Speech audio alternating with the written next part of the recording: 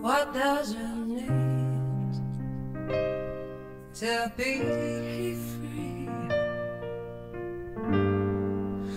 Oh, I can see people are blinded by their anxieties.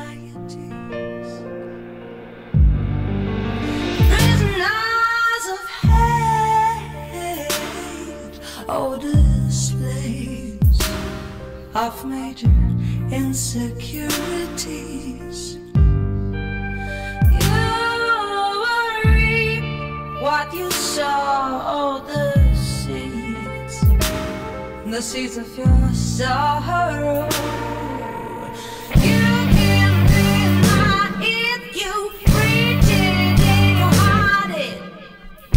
Intoxication caused by the venom you're spitting. It ain't true, just because it's written.